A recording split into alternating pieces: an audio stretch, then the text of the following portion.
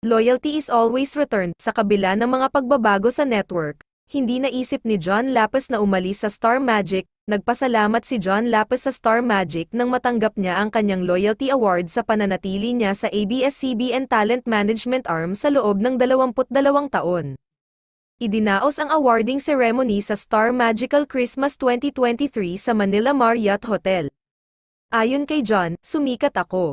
Nalaos, sumikat ulit, nalaos ulit, Star Magic artist pa rin ako. Nagsimula ako sa ABS-CBN, lumipat sa GMA, nag-segue sa TV5, at muling bumalik sa ABS-CBN, Star Magic artist pa rin ako. Naging award-winning and award-winning stand-up comedian ngayon writer at director na ako, Star Magic artist pa rin ako. Dalaga pa si Jolina Magdangal, Star Magic artist na ako. Binata na si Pele, Star Magic artist pa rin ako. Why? Because my dear brothers and sisters in Star Magic please, remember loyalty is always returned. Sa sobrang loyal ko sa Star Magic, kusa na nila akong ibinebenta na parang isda sa palengke.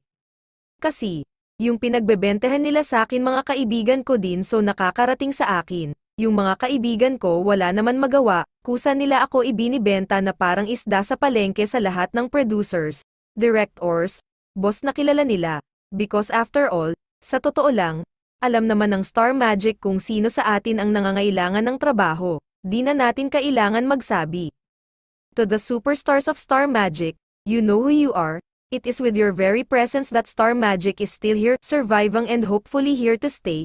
Kaya naman gusto ko sana umapila sa mga superstars ng Star Magic to recommend, request, suggest your kapatids in Star Magic especially the new ones to your producers, directors, and bosses makikinig sila sa inyo superstar kayo promise hindi naman kayo mapapahiya.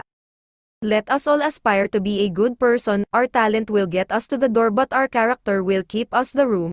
Tandaan, ang mabait na pupunta sa langit hindi ang talented, I believe it is only when we have an excellent talent and an admirable attitude that all of us star magic artists could truly say that we are tatak star magic, kabilang din na pinarangalan sina Desiree Del Valle, Andre Felix, Carla Guevara Lefertiza E.G. Boy Flores Jane Oy Neza Ketchup Eusebio.